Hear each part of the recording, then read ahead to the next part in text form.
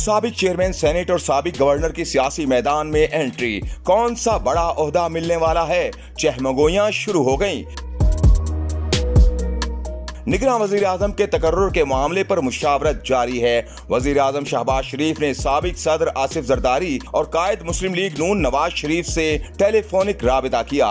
जराये के मुताबिक निगरान वज़ीर अजम के लिए मुजवजा नामों और निगरान सेटअप पर मुशावरत की गई। नवाज़ शरीफ और आसिफ जरदारी ने तमाम नाम इतिहादियों के सामने रखने का फैसला किया।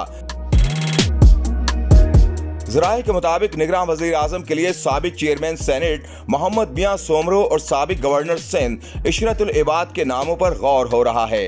रवा हफ़्ते हतमी नाम का फैसला कर लिया जाएगा। जराये का कहना है कि नवाज़ शरीफ और आसिफ जरदारी के नामजद करदा नाम वज़ीर आज़म को पेश किए जाएँगे। वज़ीर आज़म शहबाज शरीफ और अपोजिशन लीडर राजा रियाज के माबेन आज बुध को मुशावरत का इम्कान है।